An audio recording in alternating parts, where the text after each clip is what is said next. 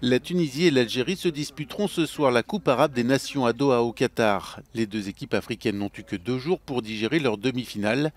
La Tunisie d'Anibal Mejbri s'est qualifiée face à l'Égypte au bout de 5 minutes d'arrêt de jeu, quand l'Algérie a eu droit à près de 20 minutes supplémentaires pour sortir les Qatariens devant un public et des officiels acquis à leur cause.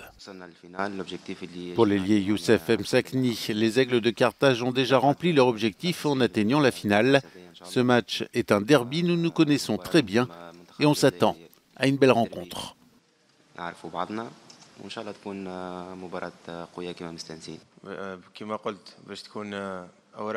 Même son de cloche du côté des Fennecs algériens et du défenseur Mohamed Amin Tougaï. Les Tunisiens nous connaissent aussi bien que nous les connaissons. Il n'y a pas beaucoup de différence de niveau entre nos deux formations. L'équipe qui en voudra le plus l'emportera.